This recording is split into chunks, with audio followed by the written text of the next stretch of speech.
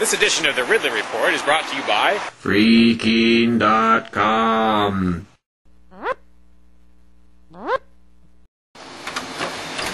Decades overdue, it's finally starting.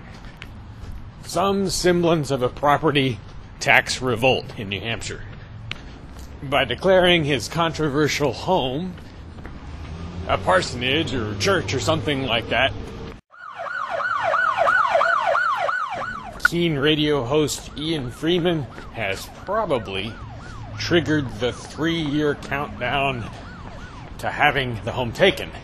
Now, when I say home, there are really different words that I could use for this spot. It could be, I could call it the Keene Activity Center, which is sort of part of the, yeah, I guess, duplex that makes up Ian's property. That place is even more controversial than Ian's house.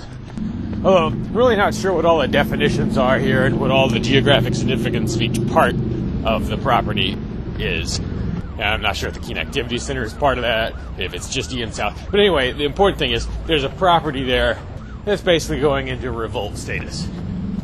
Now, if I understand correctly, this situation is different from what's developing in Grafton. uh, where uh, Free Stater John Connell owns a church.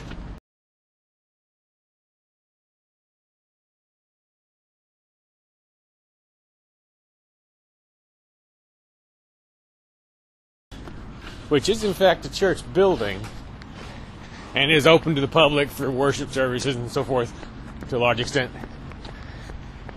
I'm assuming he, you know, kind of went through the normal paces that you go through in terms of paperwork and so forth. I'm not really referring to that as an attempted revolt.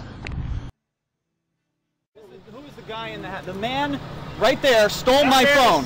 What Ian and company are doing, I, I got the impression from listening to Free Talk Live that they're not even going through the motions of trying to get government approval to be a church or be treated as a church.